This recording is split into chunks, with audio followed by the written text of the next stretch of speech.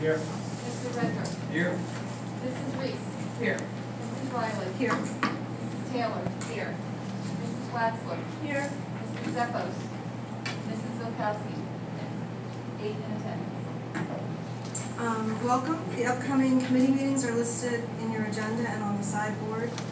We held an executive meeting at five o'clock tonight to discuss personnel matters, and we'll be continuing that, um, after tonight's meeting, uh, to continue going over personnel matters. Um, Mrs. Vicente? Thank you. Um, We have an opportunity this evening to recognize a very special lady who is a part of the Wyomissing Area School District, and that is Kathy Schweitzer, who is going to be retiring. And so she has been with us for about 11 years. She started as a special ed support staff at the high school, and now you're over at the Hills as a paraprofessional. And so I- Kathy always has a smile on her face. I love when I get a chance meeting with her in the hallway because you just make me feel good. and you're always smiling, you're always so positive, and you've just been a true blessing to the district. And we just want to thank you for your years of service that, that you have given to our families and also to our students. Your, your caring is, is evident in everything that you do, and, and we're going to miss you. So I want to thank you for, for your years of service. Then hold on. There's more. There's more. It's not over yet. I have a resolution from the school board that I'd like to read to you.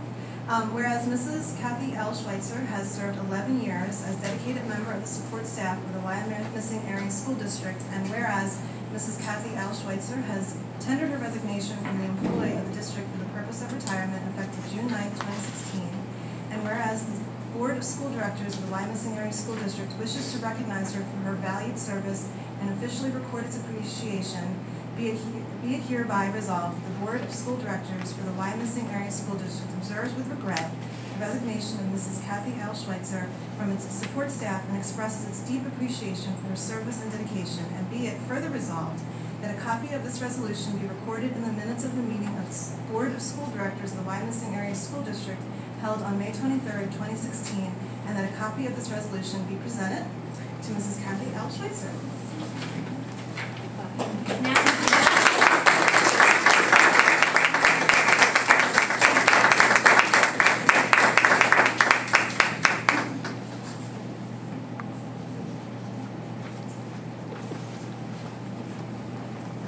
Thank you, everyone. Thank you. Um, we also want to recognize, uh, Mrs. Joanne Weller, she couldn't make it tonight, but Mrs. Weller has been a wonderful PTA president. And when I think of Joanne, I always think of how quiet and unassuming she is. So it was no surprise to me that when I asked her, uh, what she felt the highlights of her time as president were, she said she was not one to mention her highlights. That she said the PTA has great committee chairs and that they work together no matter their differences as a group. And it's not just one person. You do the best you can do, and that's all anyone can ask. And that is all anyone can ask. And Joanne, with her quiet, unassuming ways, led the PTA for two very successful years with aplomb and grace. And we are extremely grateful for the time and energy she gave to our schools. So she couldn't be here tonight, but we just wanted to, to recognize her. She deserves it. She really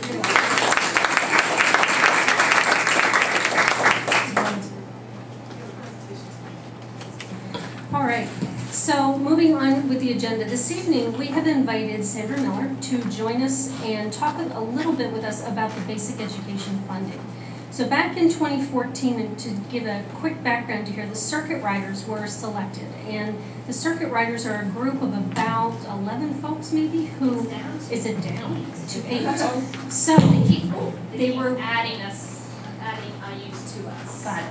So it's a group of people who've been going around the state to talk about the importance of fair funding for school districts and, and what fair funding looks like, sounds like, and what it should be. So we invited Sandra to come in and speak with us for about 15, 20 minutes just about what funding formulas are, the importance of it, and also what we can do locally to have some influence with what we should be able to do. All right. I'm, I'm a walker, I stroll, so I'm, I promise I would try to stay near without actually, are you? It's up not still good at holding it, so we'll see how it goes. Um, But thank you very much. Just to give you a little personal background about me as well, I'm a school director at South Valley School District. I'm in my 11th year there, um, and that's how I got caught up in this whole process for the campaign for fair education funding. I was involved with some advocacy work with uh, uh, PSBA, and they told me about this position and the campaign, and that's how I started. So I, I sit in your seat um, on a regular basis. Um, I'm going to go through this as quickly as possible, just so you know, but please stop me. Um, I do have a tendency, um, this is a lot of detail. This is a lot of information, but we really feel it's important for school directors to get familiar with the formula. This is how your dollars are now being driven out. Pennsylvania, and we were hoping today to have a vote on it, but we are still one of three states that do not have a funding formula permanently put into our school code. Uh, this current year, you did have your funds pushed out through the formula for the additional 150 million, but it's not a permanent uh, fixture for us. Um, and we believe that um, it is essential for Pennsylvania to do so. The only other states that do not have it is North Carolina and Delaware, but they both are exceeding the amount of money that we uh, use for funding. So the Campaign for Fair Education funding came into place. It's about 40 organizations um, that have grouped together to work towards becoming a stable and equitable funding system. Uh, we're a grassroots effort. Um, we are divided up um, through as circuit riders throughout the state based on IUs. But we have organizations that are a part of this from Pittsburgh, as well as Philadelphia, as well as every area in between. We worked with the General Assembly um, with the commission that started through Act 51, which just came out through the Corbett administration. The commission came out with a recommendation on June 10th, and this is what they recommend. In front of you, there's a spreadsheet that I provided for you, and we're going to walk through what this is. There's actually two components to the funding formula. You have the student part, and you have your district components. And we're going to do it. So the numbers you have in front of you are the, the numbers that actually were used this year for your school district. The first two columns we'll get to in a little bit. For some reason, I think it was the business people that put these together, they think that we need to see the income numbers and the local effort number first. Uh, but I know that we really care more about the student counts tonight, so that's the next columns that you're going to see. So we're going to review the top part, and then we'll go through the bottom part. The first thing you're going to want to make sure that you understand is that the formula does help all, to, all school districts. It is only applicable to uh, new dollars. You have a base year that is currently affecting, so the amount of money that you received in year 14, 15 is the same amount of money you will continue to receive. All school districts across the Commonwealth are in that situation. So it helps growing school districts because if you had had an increase in your demographics and more students, the formula will now reflect that. If you're a declining school district, then there are some that have actually lost a substantial amount of students. They have a fixed base year, so they will not be losing funding. We believe it really helps the uh, high poverty school districts. You'll see when you look at the, the poverty numbers, it, you, it reflects the demographics and the needs of the population. Again, just to remind you, it's only for new dollars and it's only designed um, as a base year kind of a calculation. The bottom numbers is kind of uh, the points on here. Um, is that there, this is not an adequacy factor. You'll hear some adequacy talk going on right now. Um, if we do small amount of money that we push through, since it's only new dollars, it can take us decades to actually rectify this. So we're obviously, as a campaign, asking for a larger amount of money. Okay, I think I said most of that, so let's go on to the factors. So what the basic first number you're gonna have, you're gonna come out with what your total ADMs. That's a three-year average of the ADMs. Those, these are reports and factors that are submitted in on your PIMS report. So it's not any additional work for your school district. This information is already submitted into PDE, and PDE actually does all the calculations and then tells you what your numbers are. Uh, but you can actually look at the PDE website. It's uh, incredibly difficult to read. It looks like this. There's five different pages and tabs that you have to go through just to get Wyomissing phone, um, Wyomissing numbers. Um, but it's uh, something that I can make sure that you have that uh, to access. You can just go to PDE and you hit on the budget fund and it gets you right into the PDE, BEF dollars in PDE. So you have your three-year average. Most districts um, have some variation in their three-year, their year-to-year, so they felt the three-year average kind of accounts for any um, changes that you have. Your school district in your three years, when you were low, and then you went high, and now you're kind of in the middle. So your average actually assisted you. So if you look at your number, that's your three-year. The next number we're going to go over is going to be your poverty rates. Poverty um, information is from the American Community Survey. It's a federal census data that's now. Feel it's a better reflection of what actually occurs in your community. It's your ages 6 to 17 year old residents. It's not your students. It's the residents in your area. Uh, you get a 0.6 added for every student that falls into that category. Moderate poverty, which is your 100 to 184, it's very similar to your free and reduced lunch calculations, but it's using federal dollars. You get a 0.3 for the students that fall into that category. And then you have your added weight. Concentrated poverty is for uh, districts that exceed 30% poverty in that community. Your school district does not fall into that, so you don't get an added bonus to that. What that reflects is that there's uh, an agreement at the commission level and among most individuals that extreme high poverty uh, requires additional resources to make sure that those children are successful at school. So you can add all those poverty numbers up, and you'll see that that is the two, your first column you're going to have is your percentage. The next column is the actual students that get added into your um, ADM. Then you have your percentage for I'm missing. That is the percentage that's moderate poverty and how many students then were added into that. So you're following me through. Then we get to the students. Yes? Clarification, you're students and other groups of residents. The, the calculation is the percentage is based on your residence. And then they take your ADM, they multiply that percentage, and that's how they drive it out. But to add to it, they don't use your three-year ADM. They use your most recent uh, ADM. So your 14, 15 is the calculation that they're using to drive poverty. So this has been really key, if I could just interject. Yes. Really key when we're looking at reporting to the state, that we make sure that our data is very clean. Because when this was, Yes. we want to make sure that the data that's going in, we're capturing all those dollars that we possibly can. But it, it's, the, they, the, they felt, um, using the residence data was the, the, the cleanest number instead of using free and reduced lunch. Um, I'm sure that your school district isn't one of them, but there are school districts that have community lunch programs where, um, if you exceed a certain percentage, um, everyone in your building then gets free and reduced lunch. So if you participate as, as a community school, you didn't have a number that would be reflective of your poverty. So they had to go to a federal census data. And it's probably the cleanest way, because that really reflects your community. So then the next is ELL, it says LEP, you'll see it different, but it basically is your language learners. Um, there is belief in it, and everyone agrees, especially um, when we have to look at the resources that are required, that students that need to have the extra services for their language um, skills, um, they add a 0.6 weight to those students, and that's the population that you have there. So that gives them more resources for if you have a high population of language learners. And then a charter school. This is a somewhat of a, a step towards read. Um, if you've been involved with schools for long enough, we used to get 30% reimbursement back for charter schools. Uh, this is a slight step because you now get a 0.2 back if you have a large population, any population. I think every school district but one gets at least one student added back to their ADM and the reflection on their charter schools. Only one school district didn't have anyone that was in a charter school. Um, but that, what it is, they look at your charter school population, they'll do a, a point two, um, to that, and that's the number of students that get added back into your ADM. And the point here is you have to keep track of your ADM. You'll notice as you go across the, the columns, your ADM is growing. So then you're gonna end up with the final weighted ADM.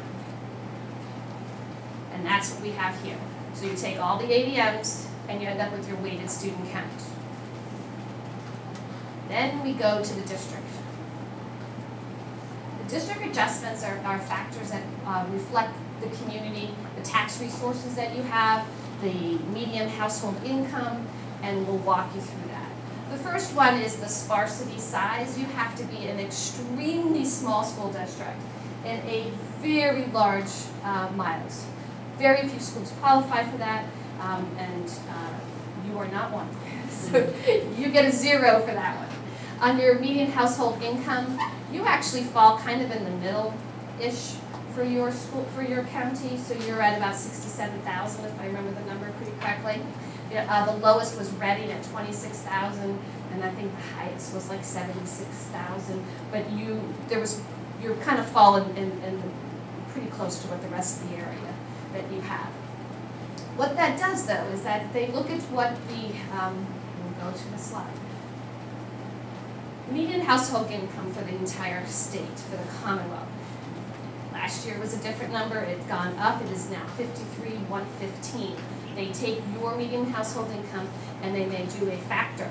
You are over the median household income, so your factor is, if you look at your index, is 0.7, I believe. So, that means that your ADMs actually will be lowered because of your median household income, because this is supposed to be reflective of the needs of the population that you have. The next part that you're gonna look at is what is your local effort capacity index. This is extremely complicated. Um, it would take me probably a half hour just to go through this component. If you really want to truly understand this, I can go through it.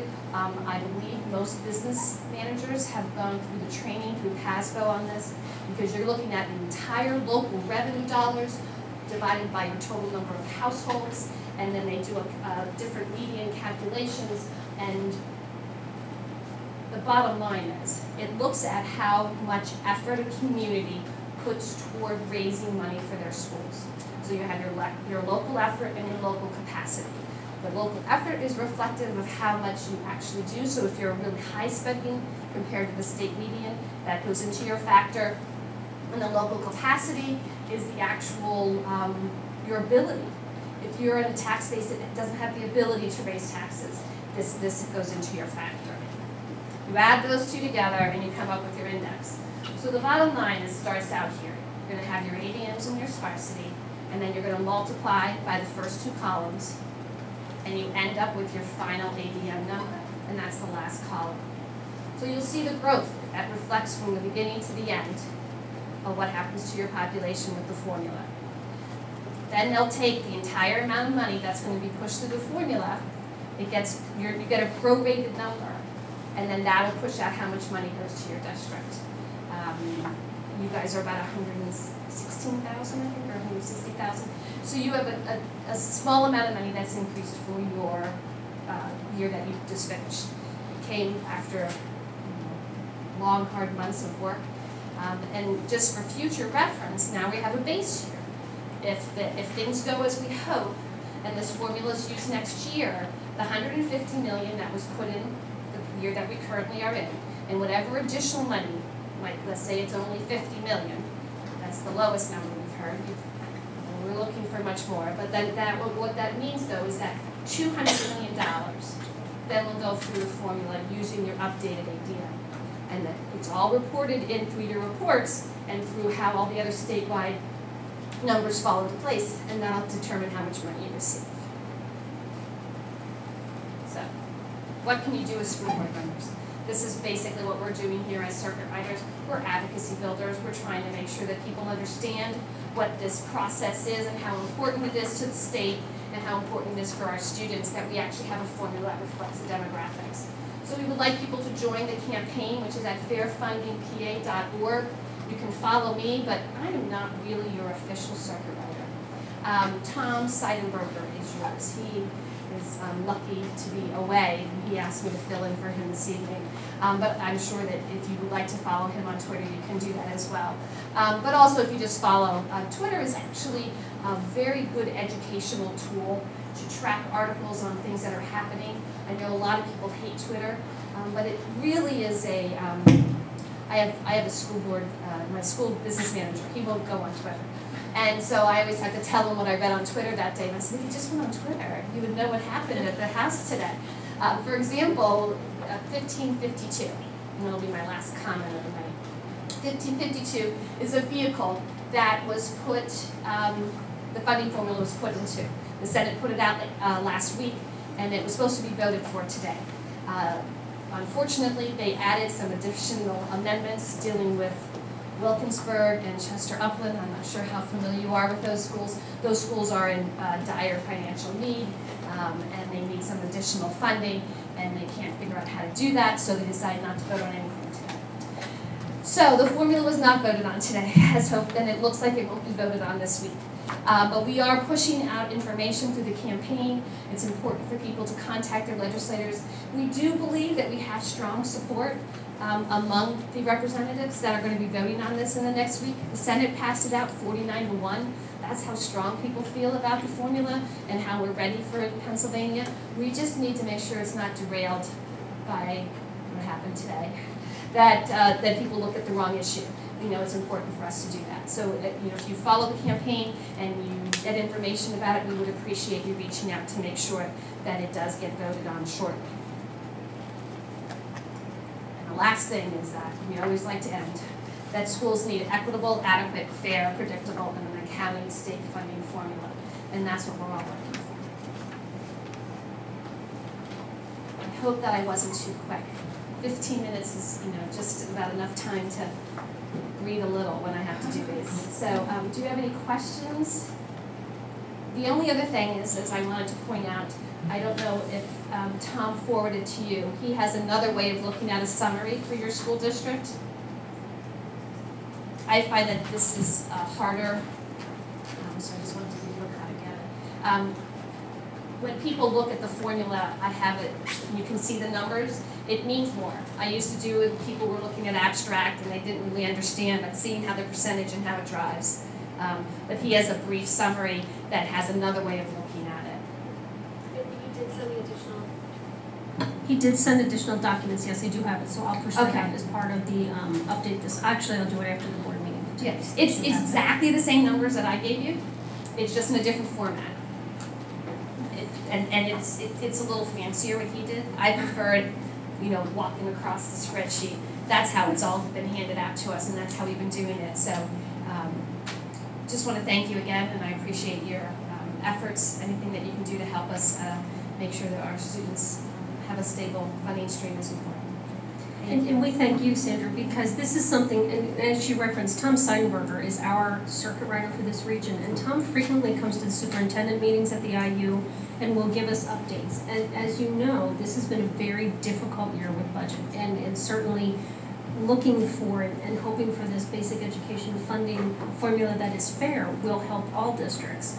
Um, as, as you know, I was at the Superintendent's Academy last week, and there were some folks there from out of state, and we had the opportunity to talk with them. And actually, some of them were looking very puzzled, saying, what do you mean you don't have a fair funding formula for schools? I mean, it actually sidetracked, bless you, the conversation, because they were just in awe that we don't have a funding formula.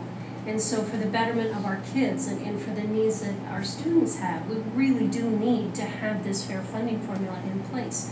This slide is in here very strategically because you're seeing the very large and reputable organizations across the state who are backing the circuit riders, who go across and travel the state to do just this, is talk about what this actually means. And so I think when we talk about, about fair funding, it's easy to talk about it like the balloon that floats.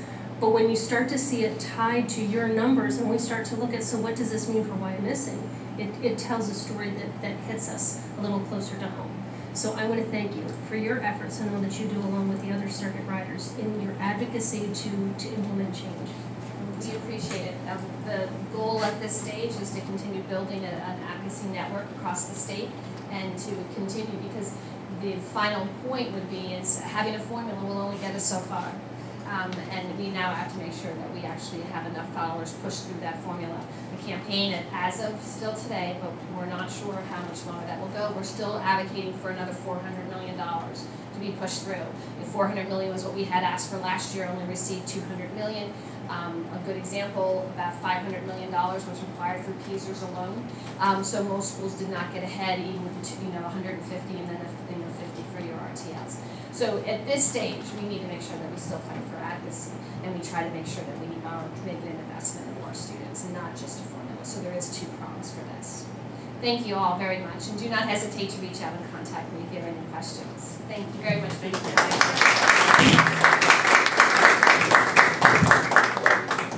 I tripped my way up.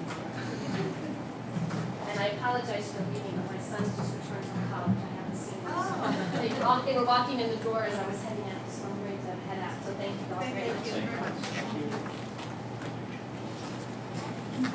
Is there anyone in the audience who has a comment tonight? Let's go on to routine approvals.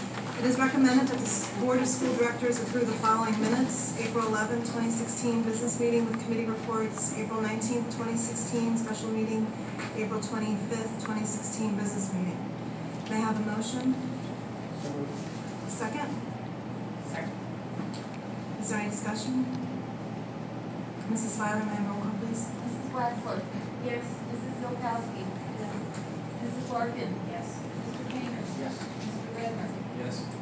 Mrs. Reese? Yes. Mrs. Riley? Yes. Mrs. Taylor? Yes. Eight yes. It is recommended the Board of School Directors accept the Treasurer's report. May I have a motion? So moved. Second? That's like. Is there any discussion?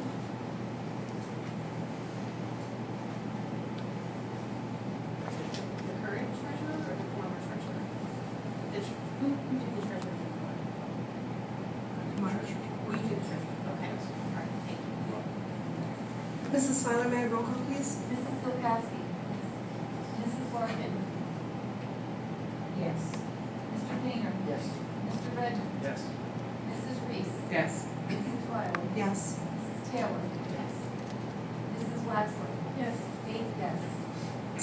It is recommended the Board of School Directors approve payment of bills for the month of April 2016 as listed in the fina- financial packet. May I have a motion, please? So. Second? Is there any discussion? I have a question.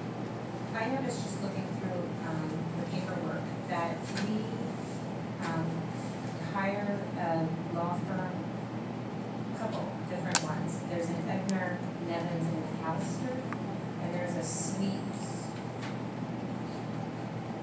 Toots, something else. Um, Just as a new board member, we have different lawyers for different facets of our world, is that correct? So we have Kellen for basic legal, um, help and then we farm out when we need other things, is that how it works? Okay. So Sweet Stevens, Sorry. that's uh, specifically for special education. Okay. Um, the Abner, that might have been for uh, a call about the uh, Reading Hospital. Okay. Okay.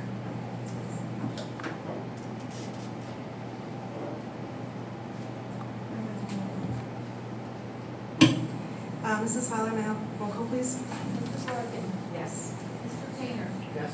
Mr. Redner? Yes. Mrs. Reese? Yes. Mrs. Riley? Yes. Mrs. Taylor? Yes. Mrs. Waxman? Yes. Mrs. Bilkowski? Yes. Eight yes. Okay, Mrs. Vicente, the superintendent. Before um, I begin with the actual curriculum and technology items, there are a couple of good news items to share. Um, Over the weekend, we had some phenomenal um, athletes. And so over the weekend, our girls track actually won the district championship. This is the first time since 2004. So that's a, a great congratulations to them. Um, individual winners in the track and field competition included Cassidy Kuhn, Madison Peace, and Joe Cullen. Um, also, the boys tennis team has won the league, county, and district titles, and then they also finished as runner-up in Hershey too, and I never say this right, so quickly. I never say that correctly, so we lost them, but, but good for them. Um, also, last week on Wednesday, we had the annual academic awards at the high school, and I would encourage you, I know they're during the day and that can be tough to be there, but it really is recognizing the outstanding achievements of our students, both through academics and also their altruistic activities. Um, Caroline Allen, I got an email right before board meeting, so I don't know if you saw the article in the Reading Eagle, but Caroline Allen is representing Berks County in the National Scripps Spelling Bee. And so I, I sent an email to, to her parents, and um, there are all kinds of activities. Kristen was sharing, it, it's just all kinds of fanfare for the kids down in Washington. So um, before she went to bed last night, she studied 400 words. The bags were packed, and um, Joe sent me an email this morning and said when we get pictures that, that he'll send them to us.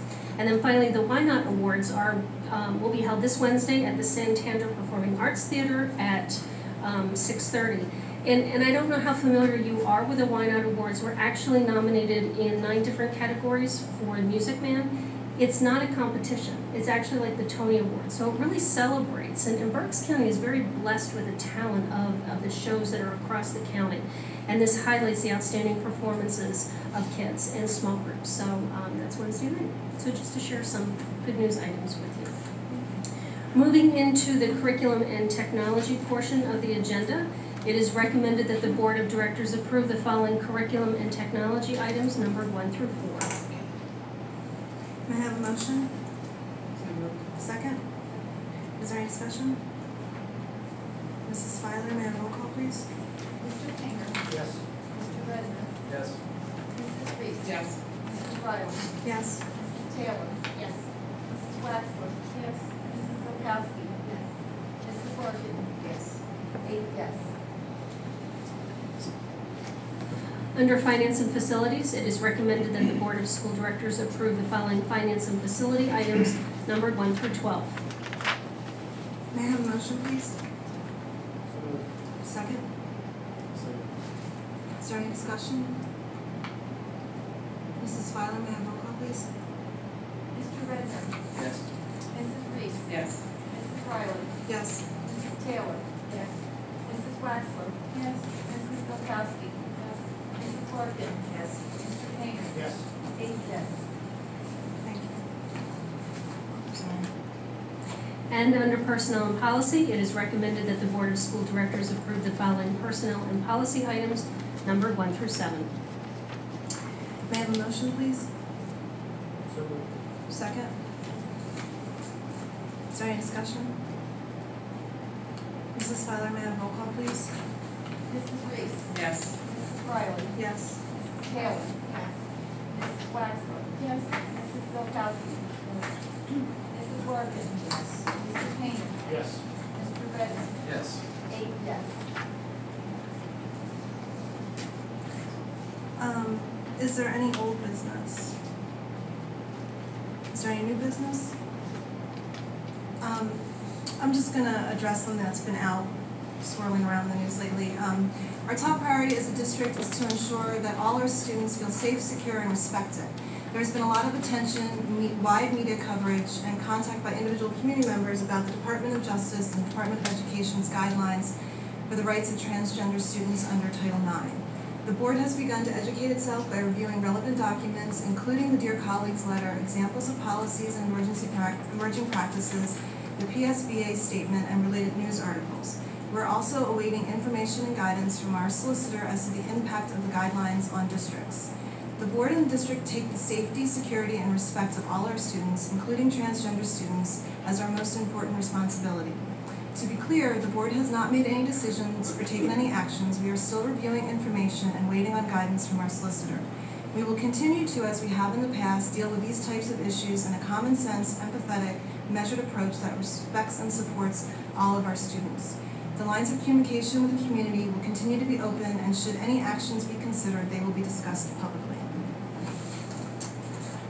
Um, right to knows are in the agenda, and we have updates from organizations, WAEA, AFSCME, WAIF. Um, two very successful parties down and two to go. Remaining two are the Hills and West Reading, and they will be June fourth and June eighth. Um, and I have a PTA update uh, from Jo, from Joanne, Mrs. Weller. She says, thanks to all the support of the PTA this past year. We appreciate all the support for the PTA from administration, school board, teachers, staff, community, and volunteers. Staff Appreciation Week was celebrated May 9th to the 13th at all three schools, including um, a big luncheon on Thursday, May 12th. Uh, the last Reading is Fundamental event is scheduled to be held this Thursday, May 26th. Cross your fingers for good weather because this is a rescheduled date. Um, and the last PTA meeting was held Wednesday, May 18th, and a new PTA board was elected. So we have Becky Campbell stepped up to be president. Megan Lynch is going to be vice president. Selena Geist is recording secretary. Megan Falloon is corresponding secretary. And Helen Stratton Brown, or HSB as I know her, is the treasurer. So we thank all those uh, parents for stepping up. Um, if there's no further business, may I please have a motion to adjourn? All those in favor? All those opposed? Okay, meeting's adjourned. Thank you. Um, Did I have a second? Maria seconded, yeah.